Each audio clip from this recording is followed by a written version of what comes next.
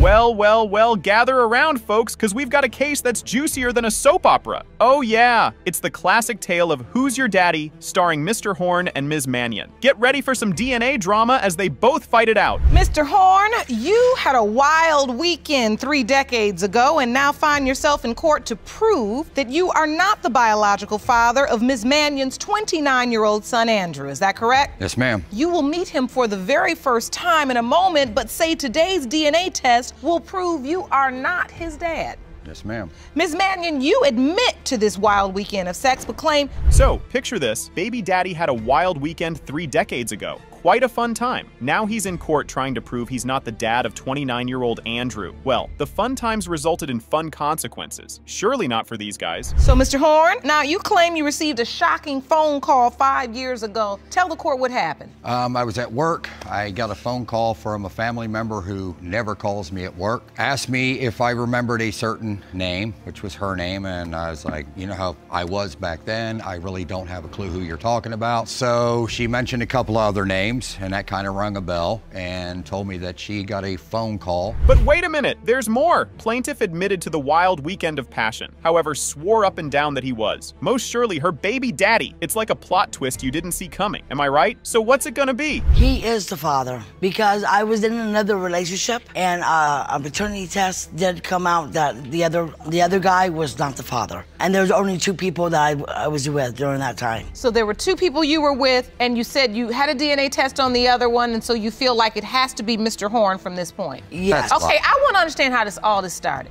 Time for another crazy turn. Mr. Horn claims he received a shocking phone call, and that too five years ago. That's quite some time. Someone dropped a bombshell that he might be Andrew's dad. Certainly not the news he would have loved hearing. Nope. Okay, so No, no. we don't I know am not who like- woke who up. Right. And because that's the evening you say you conceived your son. I only slept with uh, Mr. Horn twice. Okay. One that night and one the next day. And then from there, you basically moved on. You guys did not start a relationship. You didn't keep in touch. It was none of that. Not even close. Did you ever hear she was pregnant? I found out that she was pregnant. Now, here's where it gets spicy. Baby Daddy threw some shade and implied that Ms. Mannion might have been a bit promiscuous back in the day. Ouch. Not something you want to hear about yourself in front of a bunch of people. I even called her family after this because the said dude that she thought was the father gave me the phone number because I was like, you know, if I got a kid, I want to be part of the kid's life. When I called, the grandmother answered the phone and I said who I was, and the grandmother's like, Are you sure that you're the father? So you knew at that point there was a question as to the paternity. Yes, ma'am. I was,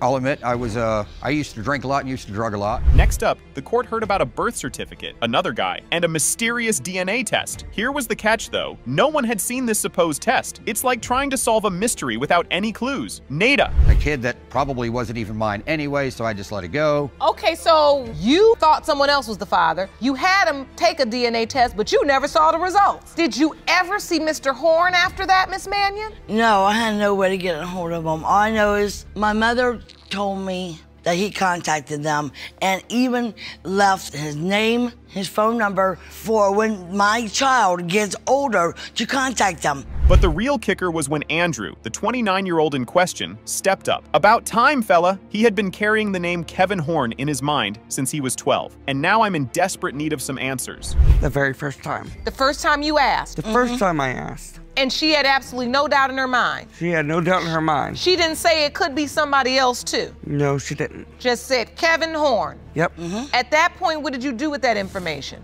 I stored it in memory. You stored it So I can find a way to find him. until you could find a way to find him. Time for the birth certificate to have its time of the day. Now, this truly was insane, because the poor guy had never seen his birth certificate before, and the fact that another man's name was listed as father, that must have been confusing as heck.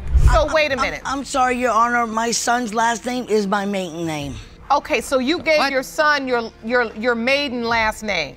Yes, I did. The name of the father on the birth certificate, is it the same name of the man that had the test previously? Yes, it is. He signed the birth certificate before the test was done. So, Mr. Horn, you don't seem like you believe in this. Being sucked up in this whirlwind of paternity drama, Judge Lake blew up on these people, casually making such choices, and for such a long time. So she ended up taking them along a ride they would never forget. First, he thought your father was his father. Then he thought your husband was his father. uh, then you told him he was his father. Then in court, Then you you said there's somebody else." another guy.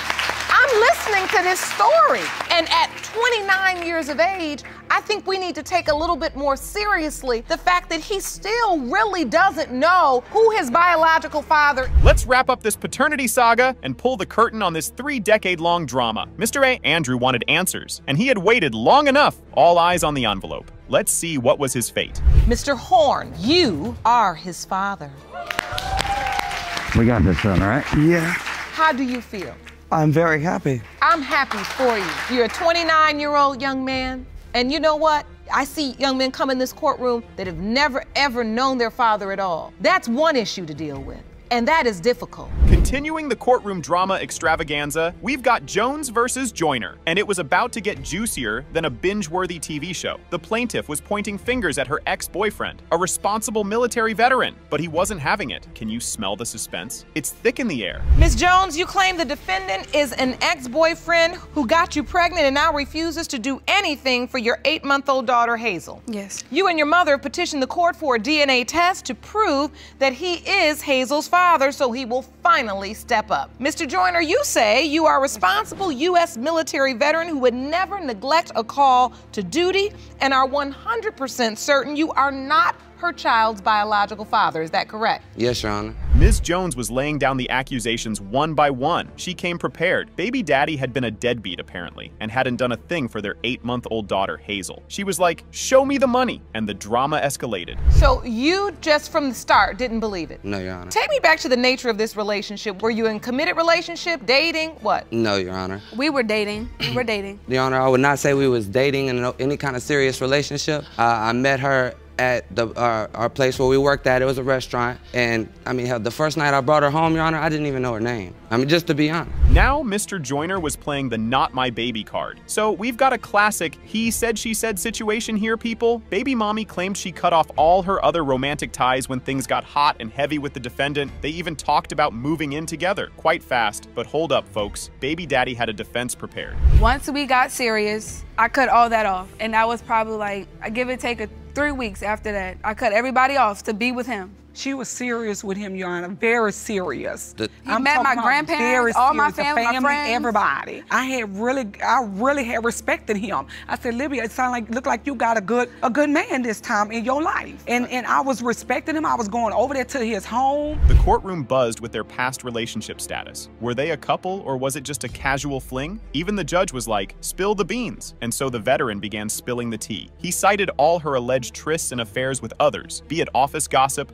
workplace romances, and a baby bombshell. Wowza. So what happened yeah. when you told him you were pregnant? I called him and I was like, I got something to tell you. I'm at the hospital. He was like, Don't tell me you're pregnant. I said, Well, I'm pregnant. And like he just sat on the phone silent and then he said, I'm gonna call you back. And he never called me back. And I'm just waiting for the phone to ring and no call back from Mr. Joyner. Like you I never said- called back? I had to take some time to think about it. Like I said, I was not the only one. I'm not a doctor or anything like that, but I know that she's that she was having sex. Enter the supporting cast Ms. Jones's mother and Mr. Joyner's mommy. Now they had quite a few opinions, and they were not holding back. It was a family affair, peeps, filled with all the right ingredients. Thank you you? so much for joining us today. No problem. You know, we're here discussing baby Hazel, Yes, ma'am. her ma'am. paternity, and Ms. Jones asserts that your son, Mr. Joyner, is her biological father. Do you believe that? I do. You do? I do. Please I tell the court why. Well, they brought her to see me when she was two days old. Olivia, I didn't find out till two weeks before that she was pregnant. When you So your son never baby, told you? You know, you just know. So here we are in a courtroom drama where this responsible military veteran was asked to put his money where his mouth was. Seemed he forgot where he stood. He had the means, but not the will to shell out a few bucks for a paternity test. Meanwhile, Ms. Jones, the single mom, just wanted some answers. You wouldn't pay for it. A man would have paid for it. Seven hundred dollars. Just saying. Sorry. No, that's what That's- you're here to I do. I mean, that's what you're here to That's do. that's is the to- facts. I agree. I mean, when you when you say in open court that you are a responsible military veteran, and you said she saw you from a mile away because of the way you live and what you have, and you have a home and you have this. If you say I'd like to have a paternity test, There was a lot of drama to unpack here, but who has the time? But these guys surely had a lot of time on their hands to make such choices and end up here in paternity court. Let's roll out the concrete facts now. Here we go. Joyner, you are the father. Yes. I I see tears in your eyes. You looking at your baby? What do you feel? Man up to her now. What do you feel? She's beautiful. She is. She's a doll baby. What do you feel, Mr. Joyner? She's beautiful. I'm sorry for denying her. And I will say this, Mr. Joyner, you've lost some time, and I can see from your reaction. So, we've got Miss Walton and Mr. Cherry, a couple in a nine year relationship, now facing the ultimate relationship test a paternity dispute over their one year old son, Josiah. She believed Josiah was Mr. Cherry's twin, while Mr. Cherry was convinced she cheated. Uh oh, rocky times ahead. Miss Walton, you say your nine year relationship with your high school love is in jeopardy because he denies fathering your one year old son, Josiah. Is that correct? Yes, Your Honor. Mr. Cherry, you claim that Ms. Walton cheated constantly with another man, and you are 100% sure that he is the father. Is that correct? Yes, Sean. Ah, we've got a classic tale of high school sweethearts turned into a tumultuous relationship. Despite the deep emotions tied to their nine year journey, it had been plagued by lies and infidelity. Both parties had a history of cheating and tit for tat retaliation, leaving their family hanging by a mere thread. You know, so I actually have a lot of love for her. You know, I have deep feelings and emotions for her. You know, so but throughout the, the whole time of our nine year relationship, it just been lies. So I'm here today just to let her know that Josiah is not mine through the cheating and the lies. There's a lot to lose. And it's not just about you two. I mean, you have this nine year relationship, your high school sweethearts. Tell me when it started to go wrong. It started to go wrong around the time that The tangled web of timelines and affairs, baby mama and daddy's relationship drama took a new twist when they argued over the conception of their son. Miss Walton's rendezvous with her ex, just a week before getting cozy with Mr. Cherry, created a sticky situation. With birthdays, breakups, and bedroom antics all in the mix, the conception dates were about as clear as mud. The week before Thanksgiving of 2014, which is that's it. basically That's- when I was with him. I didn't get conceived with Josiah until the week of Thanksgiving, which is on Thanksgiving Day, due to us way before eating that. and enjoying family. Way before You that. know, and we end up having sex. That's when my son was conceived. But when my son was conceived, I had stopped messing with my ex a week before. So ain't no possibility that that is The plot thickened. Mr. Cherry came armed with evidence straight out of a drama series messages, late night pickups, and confessions. Oh my, a sordid tale of trust issues and infidelity. The late night escapades and confessions do make it a challenge to determine the true father. and what I found out my evidence. What do you have? Okay. Uh, this exhibit here? Yes, ma'am. Step towards it. This is the first evidence I have right here. Um, this is when I went to my family member's house. This is what she told me. She said that a guy that came over that looked something similar like me but had goals in his mouth. You know, so I asked her. which is not true, Your I- Honor, I- because I ex asked don't her- even have gold. I asked her. Oh, the classic, he looks like me argument. Mommy came in swinging, claiming that little Josiah was undoubtedly her son, citing all those precious baby features and moments. Meanwhile, Mr. Cherry was left in a whirlwind of doubt as he saw glimpses of another man as the child grew. All of you, the nose, the eyes is Look from me, the the, color is from me, the hair is from me. He is his mama's child, okay? He looks like his father Well, in I'm, different I, stages I just and want to different find ways. out. That's all. I just If it find wasn't out. his son, why sign the birth certificate? Why be there? 'cause I Why was a cut his happy umbilical father. I was cord? a- Why 'cause leave I'm- my I'm son not on trying to to that being lies. your son and then So wait, he cut the umbilical cord? Yes, ma'am. Well, ain't that a kicker? Ms. Walton's ex, the one who started this mess, is now lurking in the background, ready to swoop in when things go south. It's like a never ending soap opera with these two cheating accusations, tit for tat, and a sprinkle of he said, she said. Ms. Walton, No, he's out of sight, out of mind, Your Honor. what does that mean? You, When you, he start cheating, I'll probably call him back. I mean, the situation we are in now. you all have just taken the leap from tit to tat to vicious cycle. First is this, this, this, this, and then you get so caught up where it's just you say she did it, he said she did it. We don't know if the egg came before the chicken or the chicken came before the egg. We just know we fried. So much drama and even more toxicity brought to you straight from this couple. The real sufferer in this equation was the baby, so time to bring him into the spotlight and see what the destiny had planned for him. Mr. Cherry, you are the father. Feels good to hear that. Yes. I can see the emotion all over your face. It's it's it's hard. A year worth of I mean- denial being called I mean, this HOE. is Hold on, this, Miss Wall. hard. this is What are you feeling, Mr. Cherry? What I'm feeling right now is that We've got a classic episode of He Said, She Said in the courtroom today. Meet Ms. Greenhouse, who summoned Mr. Thompson to the ultimate showdown. She was suing me, Thompson, for a cool $750, claiming it's the down payment she put on a car for him. Say what? And that wasn't all. Ms. Greenhouse, you summoned Mr. Thompson to court for a DNA test for your seven month old son, G. Yes, Your Honor. You claim he has neglected his responsibilities as a father since you called off the wedding last month. Yes, Your Honor. Additionally, you were also suing Mr. Thompson for $750, the amount of the down payment you put on a vehicle for him. Yes, Your Honor. It's the classic tale of love gone sour on relationship roller coaster. Baby mama and daddy, after a whopping 11 years of on again, off again drama, finally decided to cancel their wedding. Yeah. Why? You ask. Well, the usual suspects insecurity, disrespect, and accusations of infidelity. Who needs reality TV when you've got this juicy saga?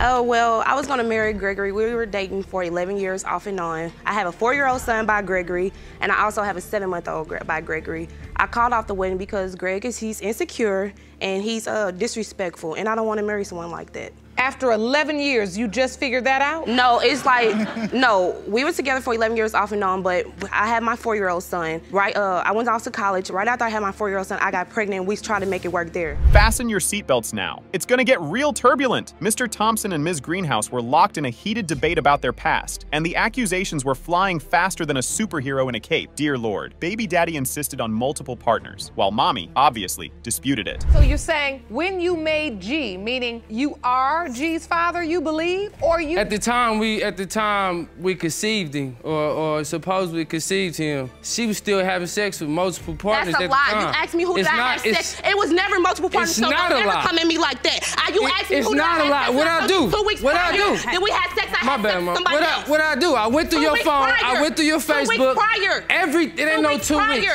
Well, they kept duking it out over their relationship. Yep, still at it. Thompson claimed that the plaintiff accused him of sticking around only because of their child, SJ. Pretty soon, financial matters were thrown into the mix and it got heated. It's like a soap opera with a dash of family feud, and Judge Lake was in the middle of it all, trying to untangle this messy web of accusations and emotions. We was only together because of SJ. This is what you told me multiple I times. told you you don't that. really want to be with me, I Greg. told you you. only with me Greg, because of SJ. I told you that. And to a major, to a major extent, yes, because of my son, the all-American way, your mom and your original mom and daddy and raising your kids together. If it don't work, it don't work. But I tried my longest and my hardest. Why do you go back to him over and over again? Time for the get to the babies moment. Because of some two week relationship hiccups and mommy's admission of sleeping with someone else during their break, there were no huge doubts. But hold on, she said he knew about it before they got back together, but the trust ship had sailed. car payments, whatever they need, whatever I can do to keep them a family together, I will do.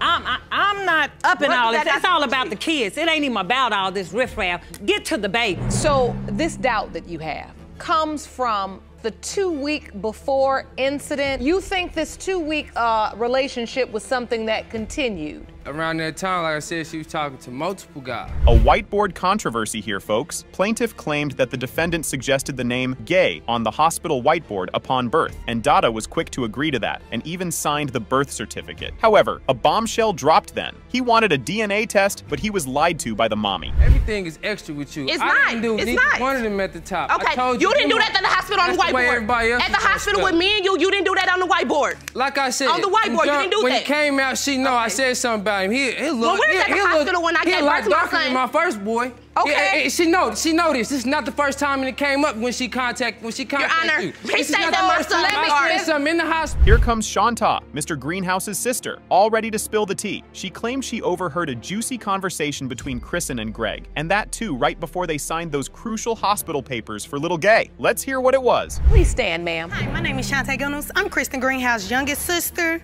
I'm only here because I was there during the time that Chrissy and Greg rekindled their relationship. You're saying you were there and you overheard something as it related to Mr. Thompson not wanting to have a DNA test? Yes, ma'am. What did you hear? When it came up to them going to the hospital to have G, Chrissy was talking to Greg or whatever. She was like, hey, Here's the lowdown. The witness shared a bit about baby daddy's behavior. Apparently, little gay made a comment that got him all riled up. Poor kid basically said, That might be gay's daddy, but you're my daddy. Ouch. Time for Greg to do some explaining. But you got a whole But- girlfriend, but- so what am but I that doing ain't now? my Why do it daddy. I said, what you talking about? I said, who your, You're my boyfriend? He said, yeah. What you mean is you felt like he was saying it's G's daddy, Wherever but it's not my to daddy. Figure. It might be G daddy, but you my daddy, is what he telling me. So I called her, I just summed it up. You shut up. Said- Mr. Thompson, let's be respectful to ladies. Nah, see, that's his problem. Ma'am, He's disrespectful. The courtroom is like a pressure cooker ready to blow. Any second now. Defendant's bad behavior took center stage, and the ladies were not having it. They were calling him out on his disrespectful attitude, and rightfully so. Even the judge got fed up. But I called And, you, uh, asked and, uh, to talk no. to my son, and you you disrespectful. She gotta shut up. When I call, Miss- when I call to Mr. talk to my Thompson, son, it's a problem. Thompson, the way you're speaking to women is disturbing. All of this is disturbing. You have a mother, a strong mother. You would never want anyone to tell her to shut You up. talk to her like that. Well, You do. I talk to you. You do. Yes. All right, paternity folks, let's get to the bottom of this case now, shall we? Because these guys were just talking and rambling on, but we need answers, right? So we gotta have those. Here we go. Mr. Thompson, you are the father. I feel more relief. For what? And you than, knew this than from having- jump. I did. I You knew did. this from jump. You knew I had dots from jump. Y'all can't do this. You all said you've been together for almost 11 years on and off. Pain. Now you've made two children and brought two children into this world. It's like they're in a horror movie. Oh, what a tangled web of young love we have here. Ms. Mitchell claimed her childhood sweetheart, Mr. Robinson, pressured her into losing her virginity, and ding ding ding, an unexpected pregnancy. And now doubts plagued him left and right. Ms. Mitchell, you are here in the court today because you claim your childhood sweetheart stole your virginity, got you pregnant, and is now denying paternity of your two month old daughter, Rylan. Yes, Your Honor. And Mr. Robinson, in your defense, you claim you doubt paternity because after Ms. Mitchell told you she was pregnant, you found out she was sleeping with four other men. Yes, Your Honor. The drama continues. Mr. Robinson claims he only found out about the possible other men in Ms. Mitchell's life through Facebook. And wait a sec, from her best friend, who was quite eager to spill the beans on her friend. She And didn't even tell me I- she was pregnant, Your Honor. friend She had one of her friends she grew up with inboxed me and her on Facebook and said, I'm not trying to start no drama, Your- no drama. I thought I'd let you know that she had sex with four other guys, okay? Let me get this story straight. You start getting messages Yes, from the peanut gallery. Yes, Your Honor, from her best friend. Well, here's a twist. Erica, a key player in this drama, apparently went to the hospital and tried to get Ryan involved in the baby's life, but that didn't work. Meanwhile, Diana, Hope's mom, joined the party and adamantly defended her daughter's virtue. She claimed she was raised better than all this drama suggested. So I said, Erica, I said, will you do me a favor? She said, what, Bub? I said, will you make sure you go to the hospital for me? She said, yes, I will. And so she went. went. Yeah, And when she she, came up, she said that she tried to get Ryan to come, but Heather wouldn't let him. That's a lie, Your Honor. That's not a lie. That's That's exactly lie, what she told me. Honor. Honor. That's So, exactly what she so hold on. A social media showdown in the courtroom. Ms. Diana claimed that Ryan didn't get to the hospital when Rylan was born, and someone was behind that. However, the real reason was revealed soon enough. Facebook drama was also on the menu, with accusations flying about statuses and immaturity, and there went the judge. Two days after the baby was born. So if he was in jail, if he was in jail, how did I he was arrested there again? with my daughter in the hospital. And yes, his sister was there. And I said, well, where's Ryan? It wasn't and she the day after, it said, was the ninth. I'm Says the one right that said, well, I'm glad you're here. Where's Ryan? And she said, well, I'm trying to get a hold of him. And then I said, did you get a hold of him? And she said, no, Heather won't let him come. Man, this was like a soap opera on steroids. Now Diana met Mr. Robinson, the potential baby daddy, and things seemed fine at first, but it all went south pretty soon. Now, Heather was in the mix, and she was here to tell the court that Hope didn't want Ryan to be part of Rylan's life. Lord, when will this drama end? Yeah, she is pregnant. I want to meet this man. I met him. He took me to his mother's house. It was a good time. I mean, it was a nice day. I thought, okay, well, maybe he's he, maybe he's going to be okay. Well, then evidently he's back with Heather or whatever, and everything changes. Yes, I have. I've contacted her and asked her and asked about the baby, and I did. So, we've got a baby named Rylan in the mix, and her potential daddy, who seriously doubted his paternity. He argued that baby Rylan didn't look like him. So much so, he even presented pictures of his son. But mommy didn't buy that. I got Nothing. She doesn't even look like me or my Here. son, who is a spitting image. My son, and when I tell you he's a spitting image of just me, like Hope. my son is a spitting image of me. Like, and when I tell you that, message Hold on. he What wants is this nothing to do evidence you have? Jerome, will you please hand me this evidence? Evidence? Look at my son and look at her. They look nothing alike. She looks That like is me. my identical twin. She looks like That is like my her identical mother twin. She looks mother- nothing So like you me. submitted these photos Yes, to I the did. court. Well, these guys sure were ready to hear the results. And I think I say this for everyone. So were we? That was a lot to process. And these guys sure as heck did not make it easier for the court. Let's see what fate the baby was dealt with. Mr. Robinson, you are the father. Before I ask Ms. Mitchell if it would be okay if you meet your daughter for the first time, I have to say, concerning the arbitration where you were asking the court for $337.50, that's what you would be entitled to if it was determined that Mr. Robinson was in fact Ryland's biological father. In the paternity court drama, Health Hazard, we got Ms. Renfrow saying Mr. Toozy's the dad because their kid has a rare belly problem. Mr. Toozy's like, no way, that kid doesn't even look like me. They're slinging words and throwing shade until the judge delivers a jaw-dropping twist. Suddenly, it's all gasps and sass, turning this episode into a mystery ride of who's the daddy, and wait till you see this clip. Kendall was born with a serious medical condition and believe it was genetically passed down by the defendant. And that's why today's paternity results are critical. Is that correct? Yes, that just happened. So, Ms. Renfro kicks things off, claiming Mr. Toozy is totally the dad of her baby, who's got this rare health thing she thinks is from him. Mr. Toozy's like, nope, not me, and braces for a courtroom showdown. It's like the start of a wild ride where they're both digging in their heels for a battle over baby Kendall's daddy drama. Cue the dramatic music and let the paternity puzzle begin. Hang on, it gets wilder. Your Honor, I seen him one time. I went over her house uh, one time, and that was it. And I realized the baby just don't look nowhere near like me. So you admit that you have not stepped up to the plate for the baby because you truly don't believe this child is your child. Yes, Your Honor. Drama heats up, gloves off. Ms. Renfrow throws shade at Mr. Toozy for ghosting her and baby Kendall, especially when the little one has to go under the knife. Mr. Toozy's defense? That kid looks nothing like me, basically saying his no-show is because he's got major baby daddy doubts. It's like a soap opera, where the baby's paternity is the big cliffhanger, and Mr. Toozy's playing the not my circus, not my monkey card. Drama's brewing, and it's not just about who forgot to take out the trash, what's next? Even more drama. My son has a issue with his his stomach. He was born with what you call Hirschsprunger's disease, and it's passed through genetics. And none of my other kids have it. I had sex with him. I had got pregnant, and my son had to have surgery at six days old. He had to have part of his intestine removed.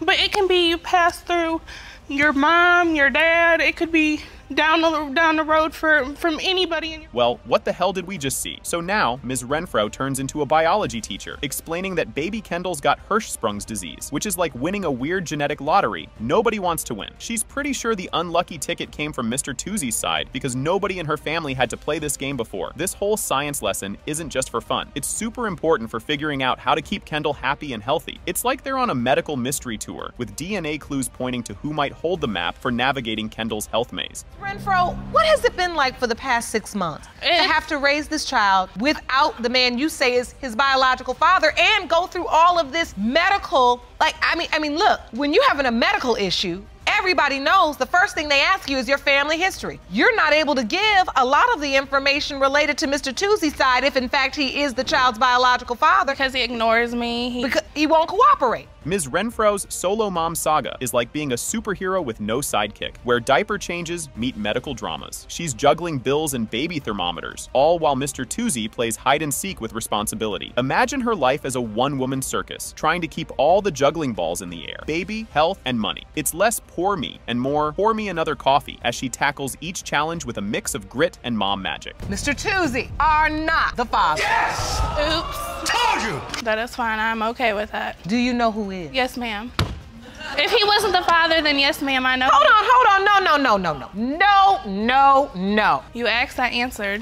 No, no, no, hold on. Because you done got on my nerves now. Because you got a smart mouth, but you're not smart enough to know when you're lying. Since all you can do is shrug your shoulders, stay silent. Because you were so dramatic about how Mr. Toozy had never done anything. Oh, and you I cried. Hold on. You cried yourself a river in this courtroom, baby. You set up and wasted everybody No, else's I didn't time. waste nobody's time. No, no, Waste no. my Yes, you did. It's like the last episode of a drama filled TV show where Judge Lake shocks everyone with a huge surprise. But hold on, because we've already seen it all money issues, tons of yelling, and a guy who's totally done with being in court. Hey, hey, hey. He's Let me still tell you something. He's still Your son deserves to know who his father is. And he's still And And listen, listen, and your son need to have a mother that knows when to shut her mouth and her leg. The case kicks off with Mr. Harvey stepping up to the plate, asking for his money back for baby goodies from Ms. Jett for a kiddo he swears on his vintage comic book collection isn't his. Ms. Jett, not missing a beat, throws a curveball back with a demand for a paternity test, insisting Mr. Harvey is the dad, and it's high time he stepped into those dad shoes. This lays down the gauntlet for their showdown, with paternity and diaper money at the heart of their school. Mr. Harvey's quest to get reimbursed for his baby shopping spree, armed with receipts and a PowerPoint presentation of his purchases versus Ms. Jett's wish list. Despite Mr. Harvey playing Santa, Ms. Jett argues his efforts were more Grinch-like, missing the mark on both timing and completeness. This chapter dives into the nitty-gritty of their financial tiffs and the Herculean task of proving Mr. Harvey's pre-baby split. See that evidence. She will media circus. It's time to see Mr. Harvey's attempt at playing Santa. The courtroom drama escalates as they dissect Mr. Harvey's post-baby financial aid, including a dramatic unveiling of a $100 money order that Ms. Jett claims wouldn't even cover the baby's gourmet formula. Despite Mr. Harvey's belief that he's been Father Christmas, Ms. Jett argues his financial contributions are more Scrooge than Saint, keeping the cash clash simmering on the stove. Okay, now we're about to jump into a family feud that's messier than a toddler's birthday party. As the saga continues, we're taken deeper into the rabbit hole of their crumbling fairy tale, with Mr. Harvey citing a scene straight out of a bad movie as his cue to ghost. Ms. Jett and her mom dish out their expectations of Mr. Harvey's daddy duties, while his aunt throws shade on the baby's paternity based on a family nose that apparently skipped a generation. This act brings the family into the fray, turning the paternity puzzle into a full-blown fam. Big moment comes when the paternity test results come in, like a rapper dropping the mic. Mr. Harvey is the kind of guy who's ready to show off all the crazy secrets he's been hiding. At this point, It's fine, because I was in a relationship before I met him. I was in a relationship. Miss Jett, you so diplomatic now. Probably about 30 minutes of you taking this young man through the ringer. And opens the case by explaining her relationship with Mr. Kaiser, stating they have a three-year-old son together, and she is seeking to prove Mr. Kaiser is also the father of her six-month-old son, Isaac, who Mr. Kaiser denies. Mr. Kaiser counters by claiming that during a period of separation, Ms. England was involved with another man, and he is confident this man is Isaac's biological father. The stage is set for a conflict centered around paternity and the implications of their past actions on their current relationship. Ms. England, you say that you and Mr. Kaiser have been together for six years, have a three year old son together, but claim he's now denying your six month old son Isaac, and you're here to prove that he is the father. Yes, Your Honor. Say Isaac is not yours. You say that during your separation from Ms. England, she slept with another man, and you are 100% sure. Ms. England admits to moving in with another man during their separation, but insists that Isaac was conceived when she and Mr. Kaiser reconciled and were together again. This revelation adds complexity to the paternity dispute, highlighting the tumultuous nature of their relationship and the impact of their separations and reconciliations. The tension escalates as they discuss the emotional and practical challenges of their situation, demonstrating the high stakes of the court's decision. Stayed off for three months with this other man. Did you move in with another man? Yes, Your Honor, I did. So wait, you all in a relationship. I want to get the Yes, ma'am. background. We were in a relationship for four and a half years before we finally split, and I went with the other man. And so during that time, you had one child. During the split, Isaac was conceived. All right, and so basically, your relationship is completely on the brink. Like the, the stakes are high. If it doesn't get solved today, it's over. A crucial piece of evidence is presented when Ms. Englund details the timeline of her interactions with Mr. Kaiser and the other man, aiming to prove Mr. Kaiser's paternity based on conception dates and sexual activity. This moment is critical as it brings scientific and temporal evidence into the emotional and contentious debate, offering a potential path to resolving the paternity question. However, Mr. Kaiser remains skeptical, questioning the reliability of Ms. Englund's account and the exclusivity of her relationship with him during the conception window. Sure. Great. I have now we're back on track. Ryan, can I see that evidence, please? Yes, ma'am. On the 25th of March, Yes. you were But the intimate with the other guy. Yes, ma'am. On the 28th, me and Mr. Kaiser, we got back together. I came back to where he was at with our Mm-hmm. children. I had sex with the other man before the conception window.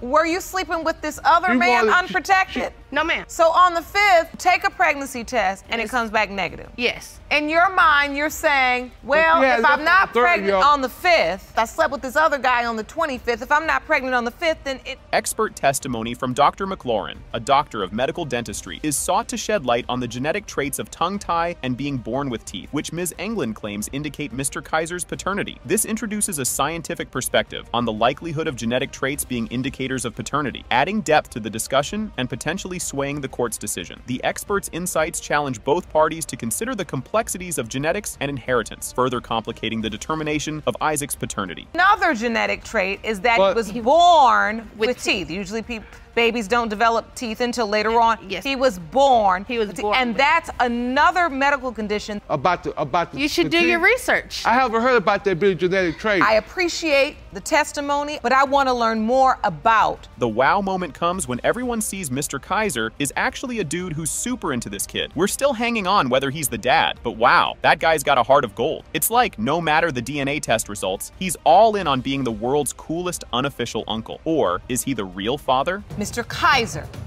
You are not the father. Are you sure?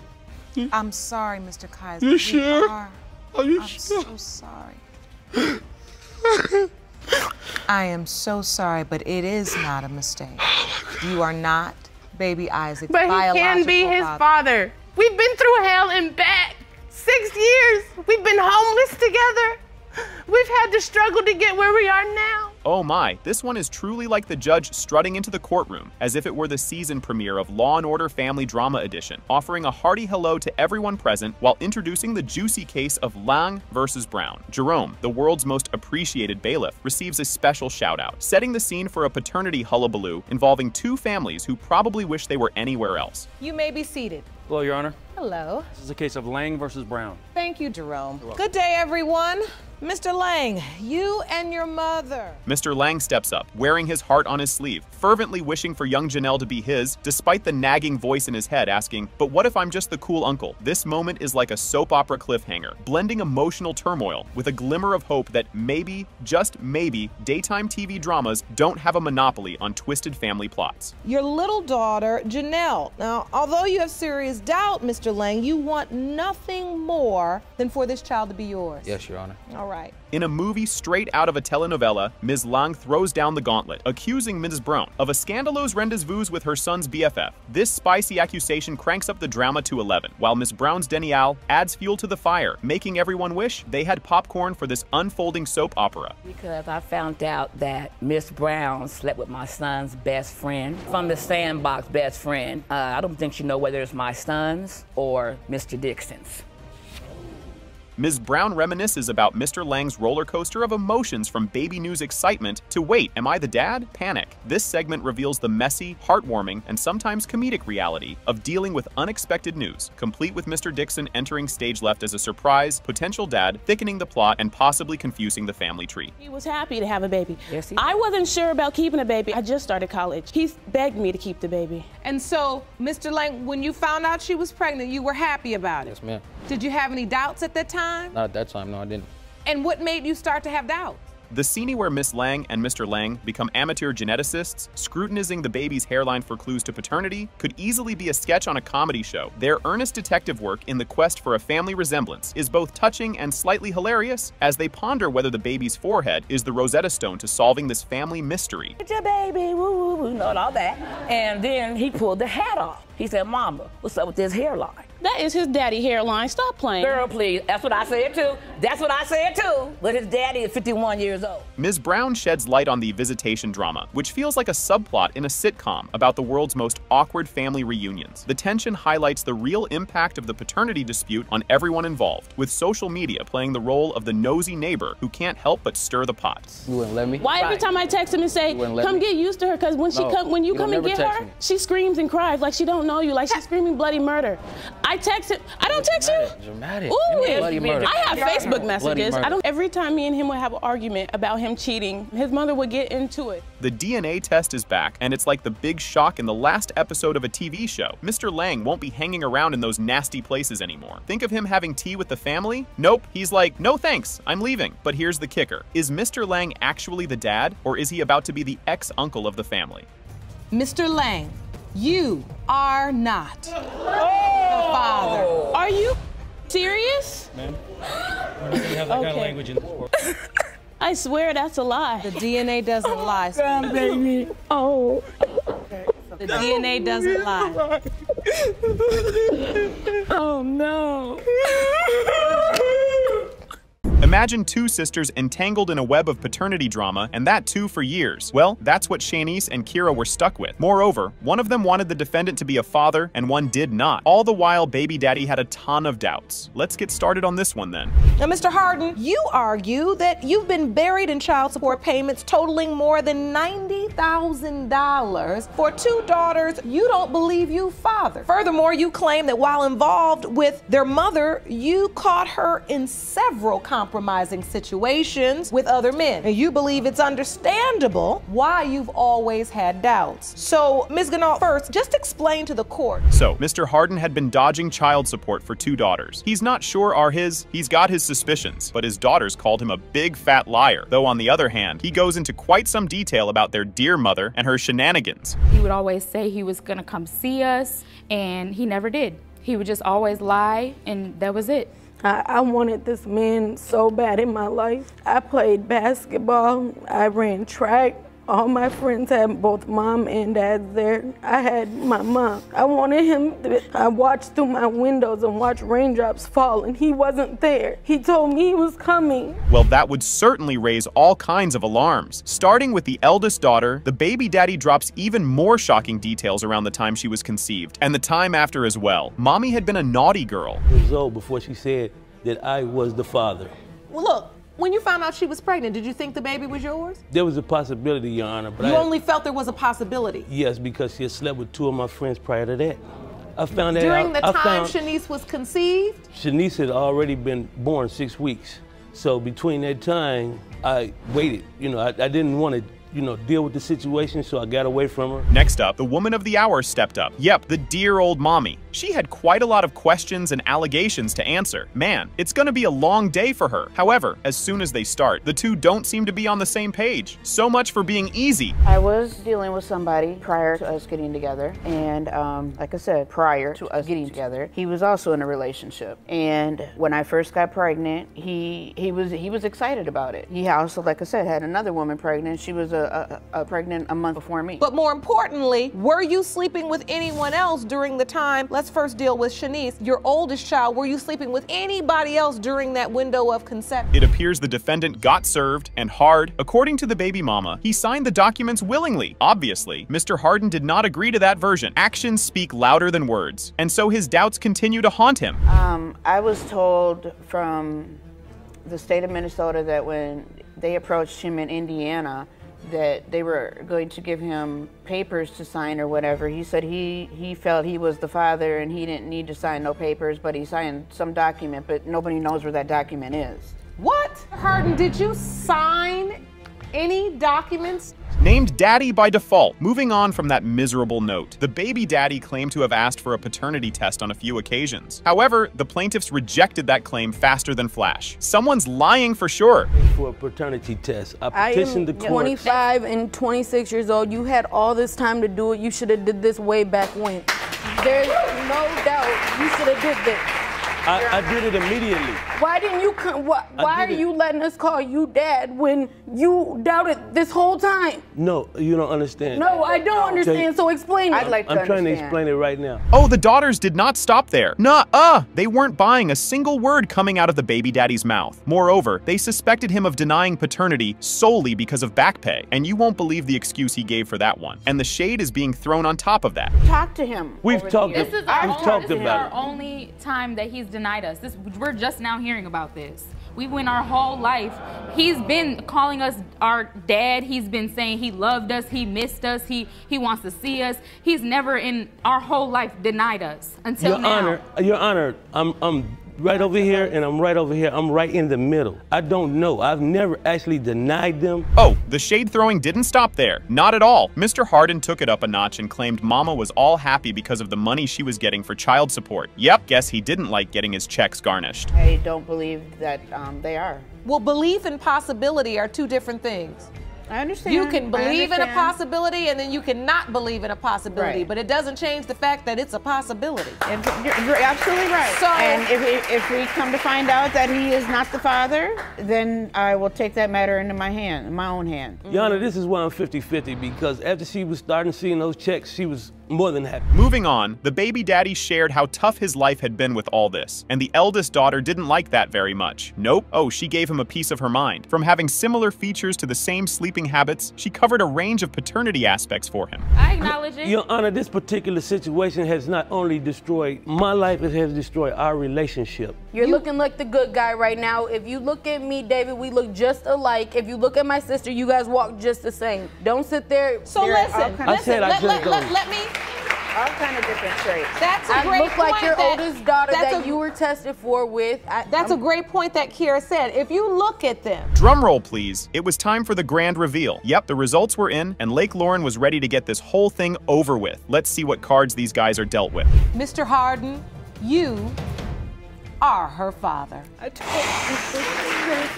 I'm so sorry. I'm so sorry. I'm, I'm, I'm, like I say, I'm devastated. Now look, You see him looking you, me in my eyes. no, no, listen. this. I will I'm fix this. watching you. I see tears in your eyes for your children. You're their daddy.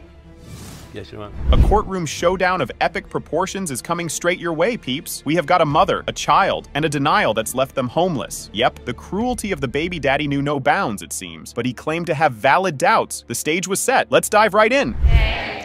Miss Curtis, you say this court date is extremely important to you. You're here to prove to your ex fiance, Mr. Buckley, that he fathered your 22 month old son, Xavier, because his denial has left you homeless and in need of help. Yes, Your Honor. Mr. Buckley, you say Miss Curtis is a cheater, and today the test will prove you are not the father. Is that correct? It's a classic tale of love gone sour. Mr. Buckley admitted throwing the mommy out. However, Ms. Curtis seemed to have conveniently left a tiny detail out, and baby daddy wasted no time hopping on the I can't have kids train. And his landlord sent me an eviction notice.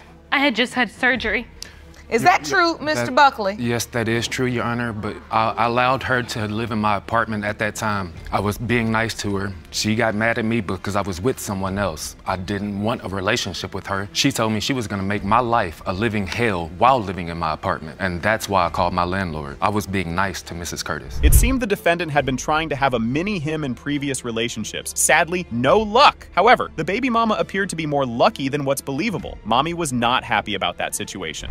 I was in a relationship before and we tried to conceive a child. We went to fertility specialists and we were on uh, medicine and kept up with ovulation dates and the whole nine. And it didn't happen. As, as soon as we separated, she ended up having two other children. And that's, that happened in not only that relationship, but with the following relationship that I was in. Hard to believe these guys were once an item. With the words, they are now throwing around at each other. No love was lost here. In a nutshell, mommy had issues with the daddy, and daddy had serious issues with the mama. Poor Xavier is stuck in between. It's continued to go along. Um, I continued to get older, and I, I wanted a child. I, I accepted Xavier as my child, even though I don't think I can have kids. Joey, I know when I conceived. I know who I was with when I conceived. I, I know who you were with too, and it wasn't just me. It, so staying at your house and spending Christmas with you? Now, what happened on the day of birth? Surely, with all these nagging doubts, Mr. Buckley would have had a hard time being in the hospital. Turns out, the baby daddy was busy having a heart heart moment with the baby. I was in labor for 13 and a half hours. Mr. Buckley was with me for the whole 13 and a half hours. I have pictures of him at the hospital. I'd like to see those. I end up having to have an emergency C-section because little Xavier's oxygen level dropped and he was in distress. And they took me in for an emergency C-section and my mom came with me. And when I woke up and they wheeled me by the nursery to see him, In his defense, though he stated he was swayed by his heart, however, his mind did manage to pull him back from that momentary lapse. As his suspicions were real, the defendant brought a witness along with an exhibit to back him up, and boy, was that enlightening! Hello, state your name for the court. Anika Bunch. Ms. Bunch, you are Mr. Buckley's friend. All right. And what information do you have concerning um, Xavier's paternity? Your Honor, I have a lot of information. I actually brought a sketch with me. I would like to see it. The exhibit here, please step to it. This right here, Your Honor, this is my house, my back door. Now, for the moment we've all been waiting for, so eagerly. The results! Someone's pants were surely about to be on fire, as the results would lay down all the truth. Let's see which party comes out clean out of this mess. Mr. Buckley, you are not his father. Baby. I'm very sorry. Miss Curtis. I wasn't with anybody else. Obviously, you were with someone else. Jesus, Lord. Xavier was born 40 weeks after conception. December 24th to September 24th is 40 weeks. I need you to stop this right now, babe. Baby Zoe's paternity was more tangled than a bowl of spaghetti. Her mama had her love with the defendant on the line, as he was tired of her lying and cheating. Will this paternity puzzle finally be solved? Let's find out. Miss Polson, you've summoned Mr. Callender to court in hopes of salvaging what is left of your relationship. You say he denies your daughter Zoe, but today you intend to prove paternity. Is that correct? Yes, Your Honor. Mr. Callender, you say you love Zoe and have created a bond with her, but Miss Polson has a cheating past, and that is why you are convinced you aren't Zoe's father. Is that correct? That's correct, Your Honor. So how did this love story begin? It appears these guys had a brief relationship and then went separate ways. But lo and behold, these guys rekindle their love again. However, the circumstances weren't too favorable for the baby daddy this time around. Constant turmoil and constant fussing and fighting over it, and I'm just ready for it to be clarified and for it to be done. So, how did you meet? We originally met when we were younger, and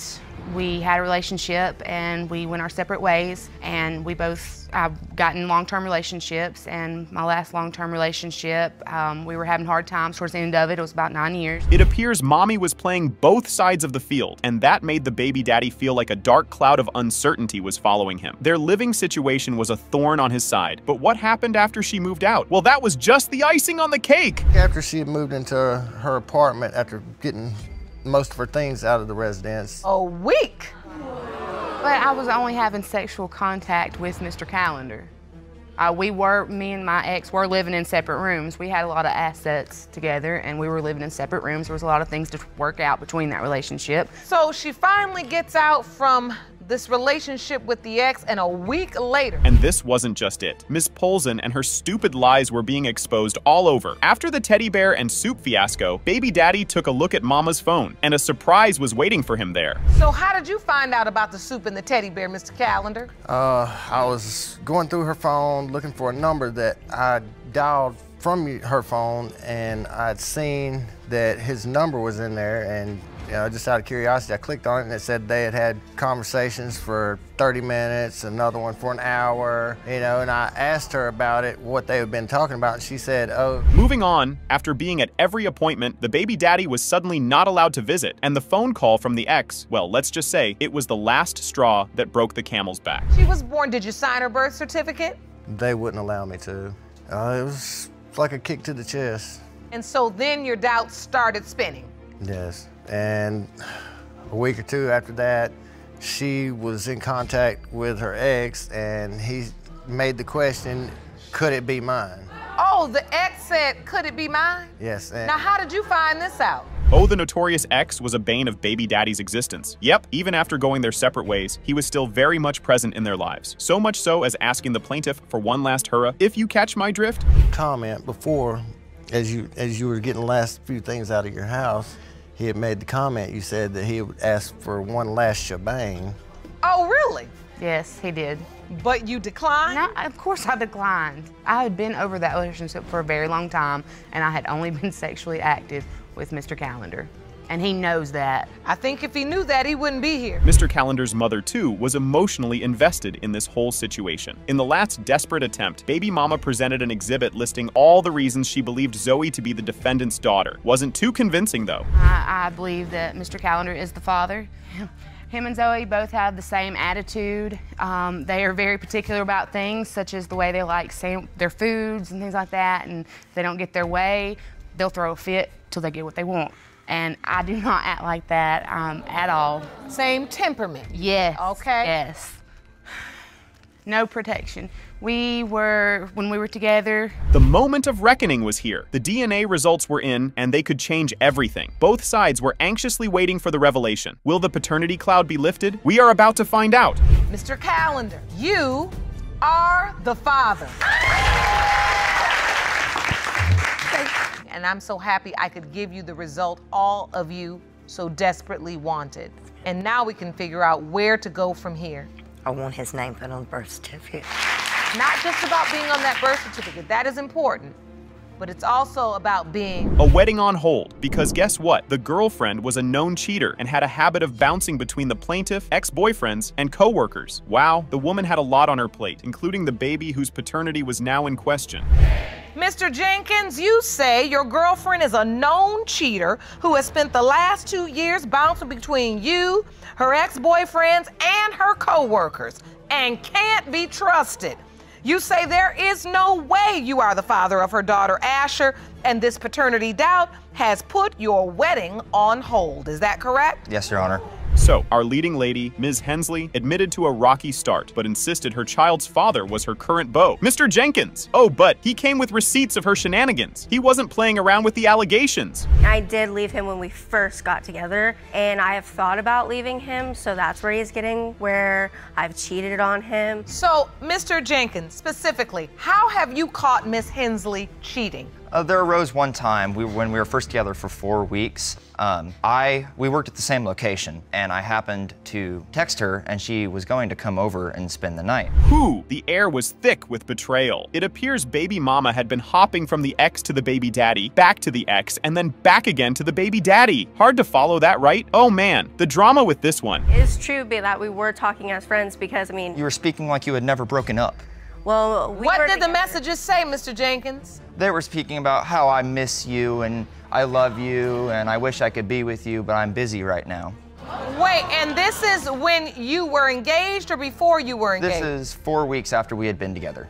So you do admit you were still entertaining your ex when you first met Mr. Jenkins. Get ready, people, because the plot was about to thicken, so they got back together again. But did the baby mama stop her flirtatiousness and extracurricular activities? It appears she did not, and the plaintiff had proof of this as well. See, because it's a kind of a reoccurring issue is that whenever she goes to a job, she ends up becoming friends with some cute guy she met there. But she, we were working at a factory at the time. She had a fellow coworker that would always come over and like fake nudge her, joke with her, flirt with her, talk with her. They would sit together on break with me sitting right there next to him. And I never could trust him.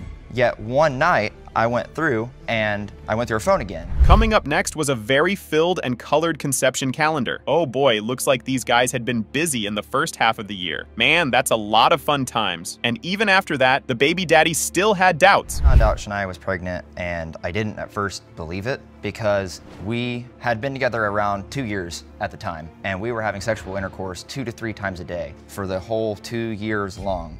I'm talking like all the way through January, all the way through February, all the way through every single month. You actually submitted a calendar to the court that outlines your sexual relationship. This is what you say. Well, well, well. Ms. Hensley wasted no time in labeling the baby, wait for it, a miracle baby. Yeah, two years of all that activity and no baby. But then out of nowhere, bang, there she was, barefoot and pregnant. Activity around other men. I have a medical condition, so uh, it's hard to get pregnant if you don't ovulate or have a period. So, So you're saying because of a medical condition, you do not ovulate regularly, have your period regularly. yeah, I didn't have a period the whole time we were together. For two years. Yeah, I never had a period, so.